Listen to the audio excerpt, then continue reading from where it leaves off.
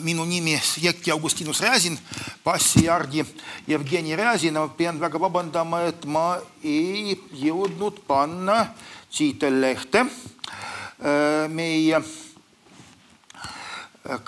esitusele selle ainesse kaasautoriks on doktor Ove Pärn, kes on minu akadeemiliseks juhendajaks.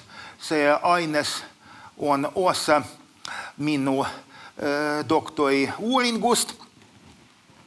ja ma märgiksin veel, et osaliselt see aines sai esitatud Tunamuru jõulukuul Eesti ilmateaduse saja viiekümnenda aastapäeva konverentsil Teraveel, seal me näitasime seinakut ja osa ainest jällegi käis muu kuueteistkümnenda aasta kevadel Euroopa Geofüüsika Ühingu konverentsil Viinis.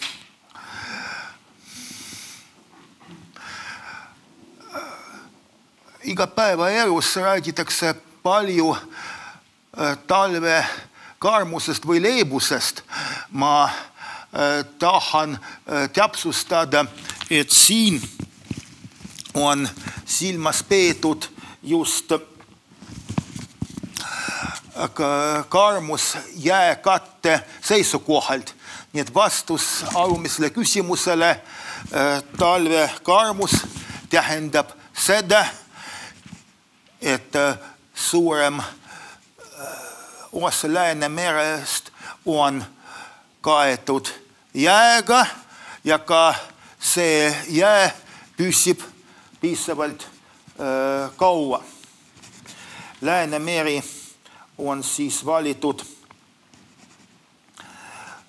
uuringu esemeks ja ajajärguks on hooaja tuhat üheksasada kaheksakümmend kaks kuni kaks tuhat viisteist. Jää tähendus inimühiskonnale sõltub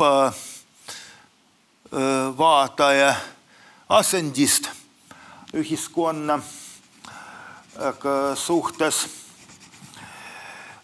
kaasa arvatud majanduse seisukohalt.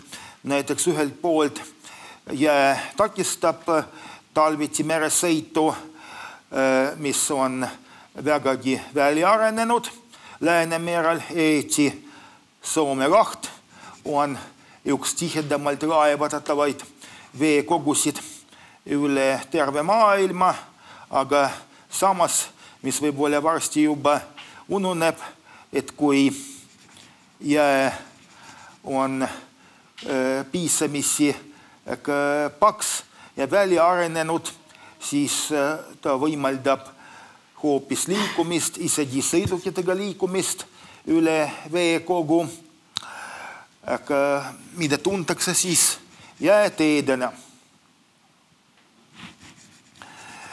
jää peegeldab valgust, eriti kui ta on puhas, seetõttu õhkkonna ja vee energiavahetus on umbes tagasihoidlikum jääst rahutatuna.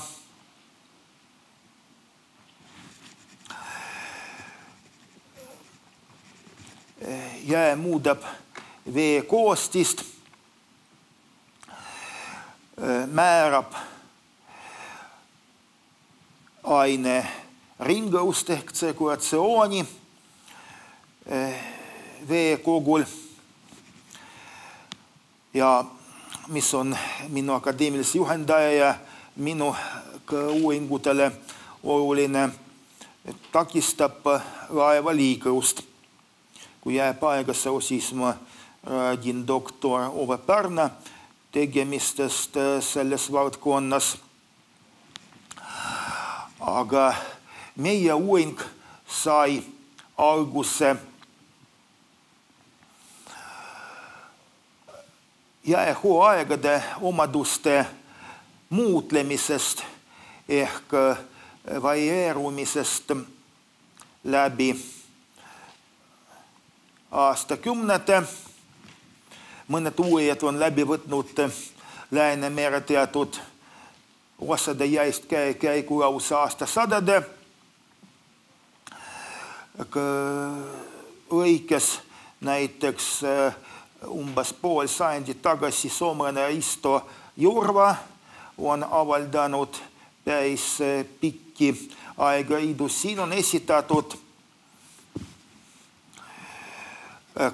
jääpäevade arv oma kangel muutlemisel Pärnu lahel, mis on omakorda Liivi lahe osa.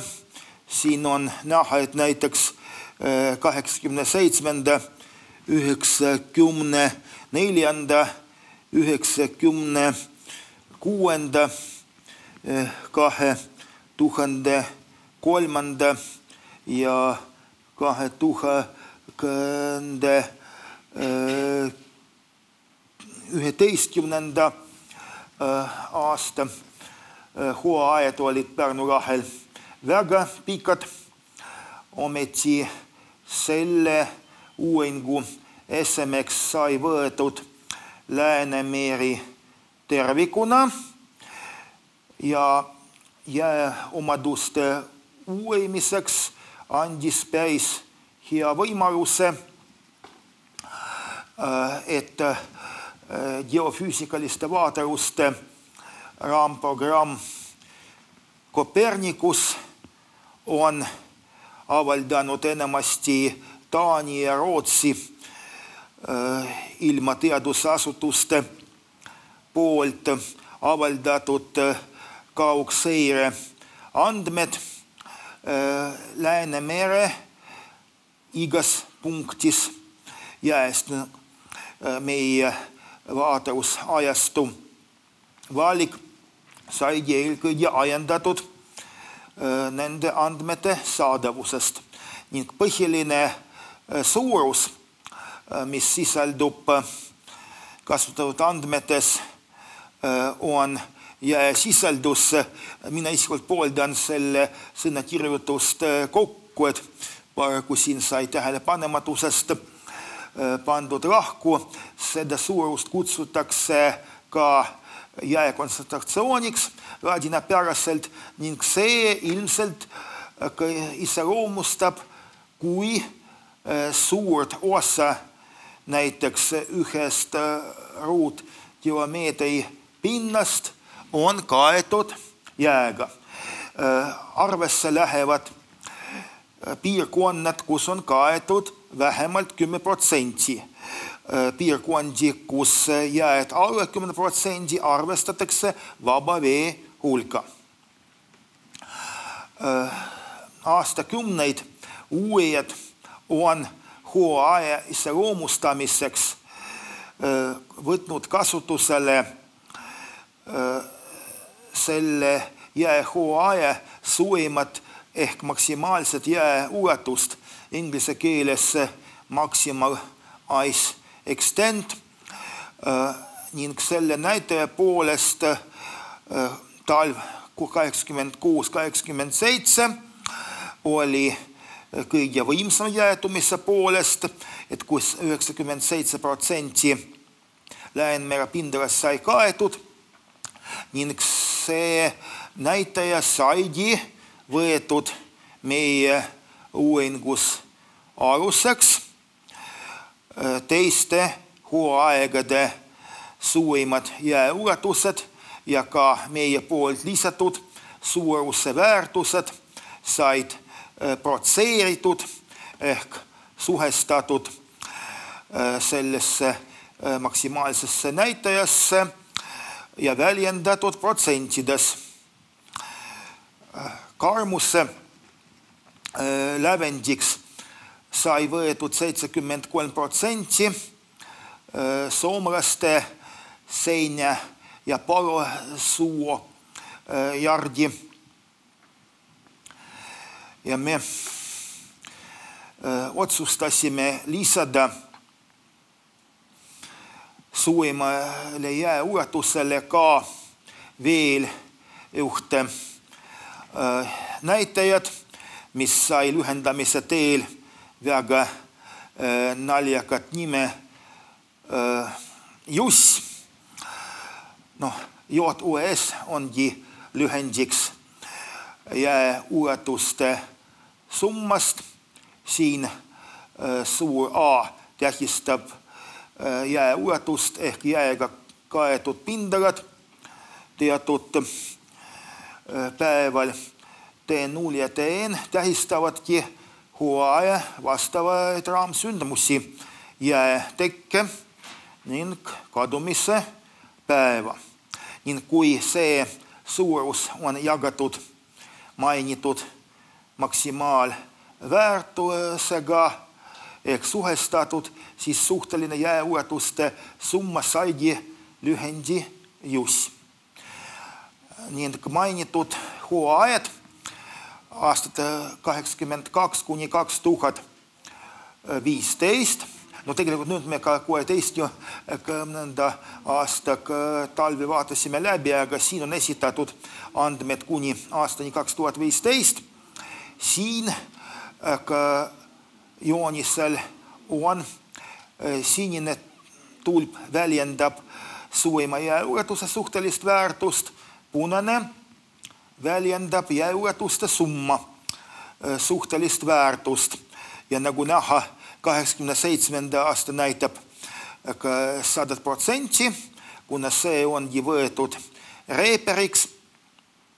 ning kuigi ühte poole, ühelt poolt on näha, et nii hästi kumbki suhteline väärtus kui ka, ka nende suhe muutlevad ehk varieeruvad väga võimsalt, ometi on näha teatud seaduspärasid.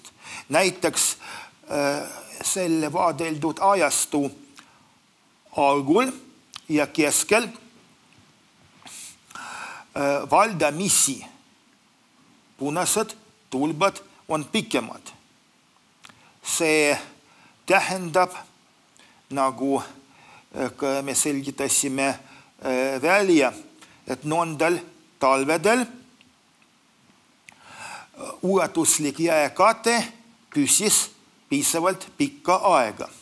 aga kui me vaatame äh, talvi alates seitsmendast aastast, siis äh, viimase äh, kaheksa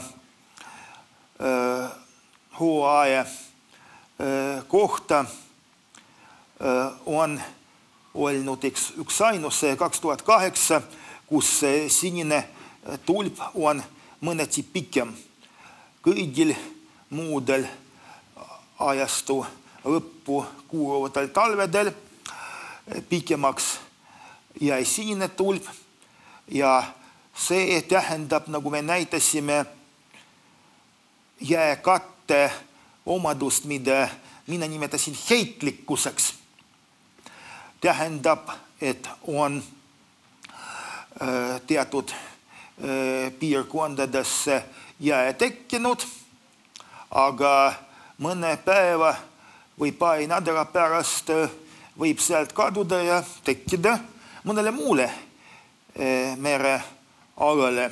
eks võib nimetada neid hooaegu püsimatu jääkatte hooaegadeks.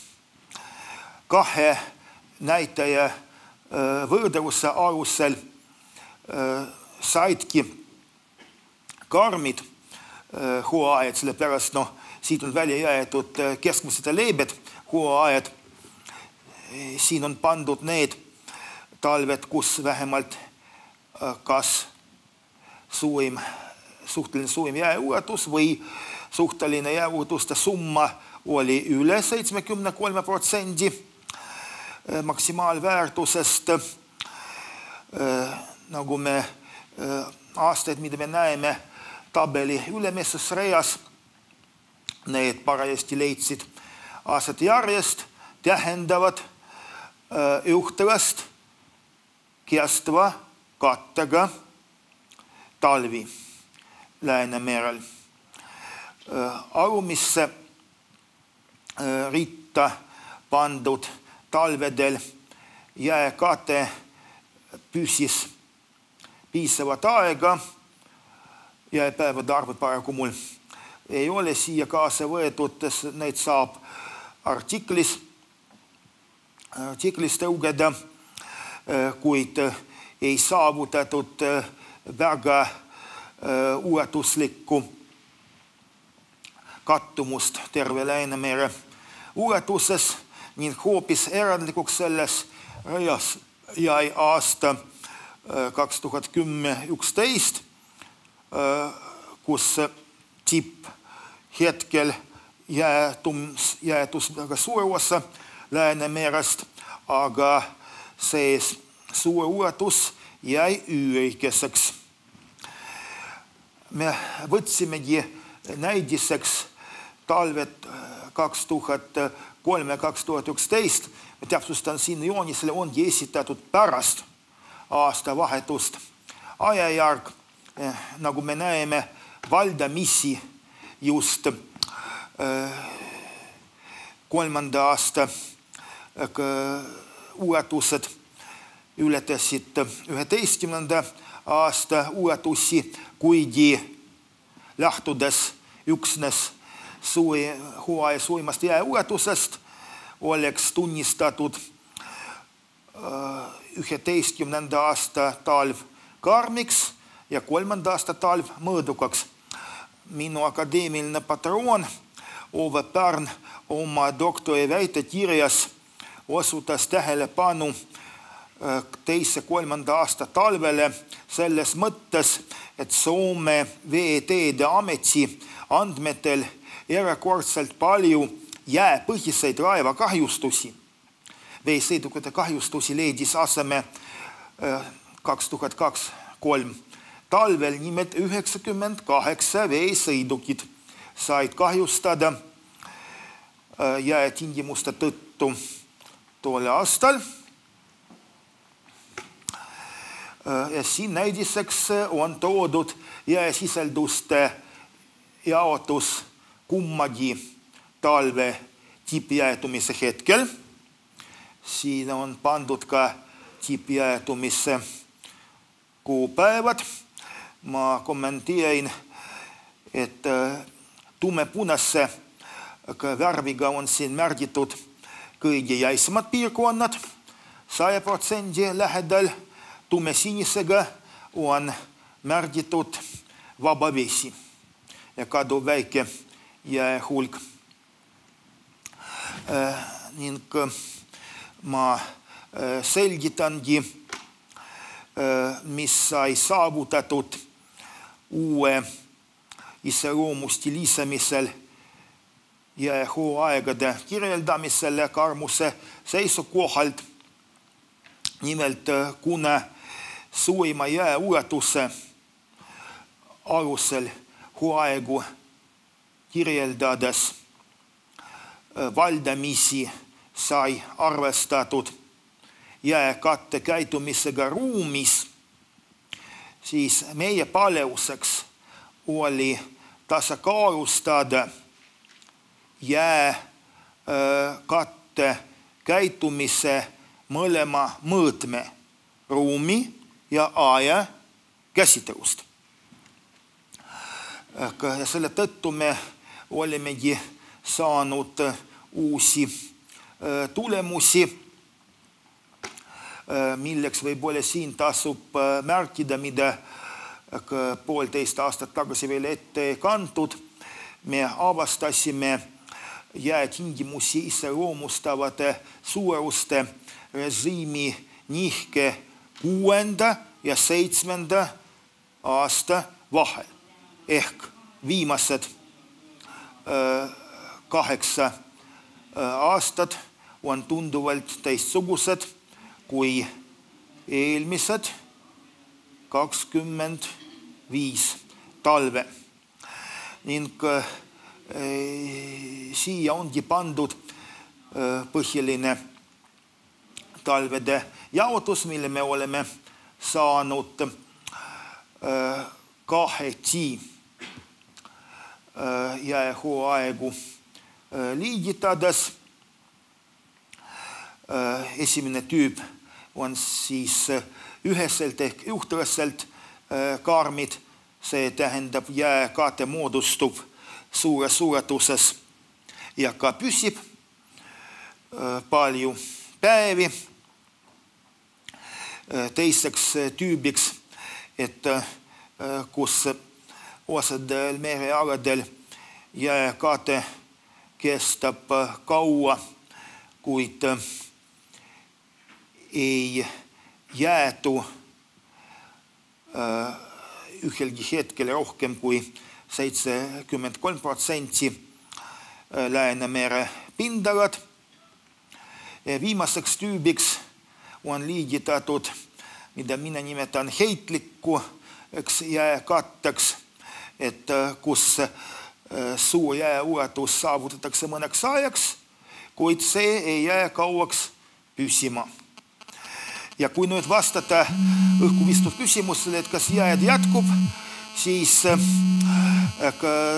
saab kõige põgusamalt vastata, et kuuekümnendast aastast alates enam nii väga ei jätku, vähemalt Läänemerel jää tuleb, kuid see ei püsi kaua ja ma veel märgiksin, et edasisel uurimistööl ma kõrvutan Läänemerd ilmselt Valge merega ja võib-olla Arktika muude piirkondadega, et seda on mulle soovitanud doktor Ove Pärn, minu akadeemiline juhendaja ja kes soovib artiklit saada, võib-olla ka meie teisi artikleid, võiks kirjutada paberile, võib-olla korraldajad annavad Tommi Maili aadressi ja ma tänan tähelepanu eest, ootan küsimusi. tänan